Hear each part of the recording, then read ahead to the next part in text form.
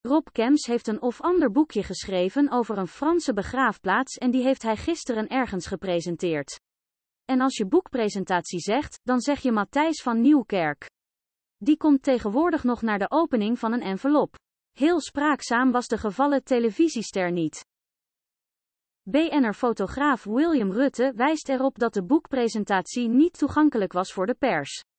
Het was een vrij bijzondere boekpresentatie, want er was geen pers aanwezig, zegt hij in shownieuws.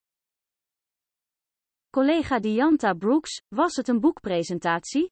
Dat is nog even de vraag.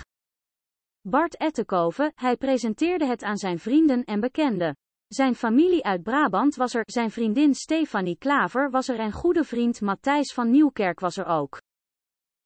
Wat Matthijs er deed? Die schijnt een soort abonnement te hebben op boekpresentaties en cd-presentaties. Dat is zijn core business de laatste maanden. Hij zou het presenteren, werd van tevoren verteld, maar dat bleek toch niet het geval te zijn. Hij was wel aanwezig en Rob richtte ook even het woord aan Matthijs, aldus Bart. Het is shownieuws niet gelukt om Matthijs te spreken. We hebben geprobeerd om Matthijs nog even te spreken te krijgen, maar wij werden vriendelijk doch dringend verzocht om ons weg te scheren. Echt tot een paar keer toe kwam de organisatie, de uitgeverij, naar ons toe en ze zeiden: willen jullie nu weggaan?